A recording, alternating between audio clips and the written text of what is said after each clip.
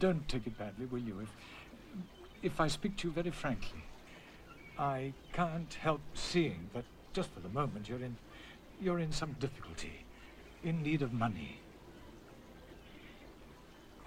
No, uh, don't be offended, please. No offense. It can happen to anybody.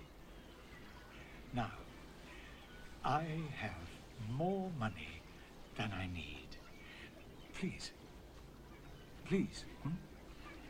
won't you tell me how much you, you want just, just, just to be going on with? Hmm? Just tell me. Twenty francs wouldn't be bad. You'll need more than that. You'll need at least 200. Two hundred. Two hundred francs, of course, would be a lot better. I can't accept it. Why not? Because I wouldn't know how to pay back that kind of money.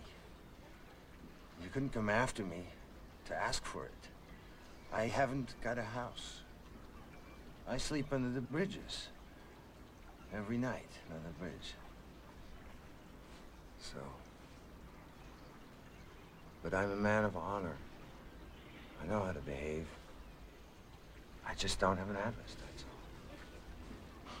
all. I have no address either. Can't even tell you the name of a bank. No, do take this money. No, no, you see? No, ridiculous amount of money in any case for, for a man like you. And I I... know.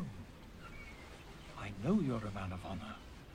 So, when you're in a position to repay the money, will you do me the favor that I was speaking of? You see, I must confide to you something extraordinary. I read the story of little Therese, the Saint of Lisieux. hmm?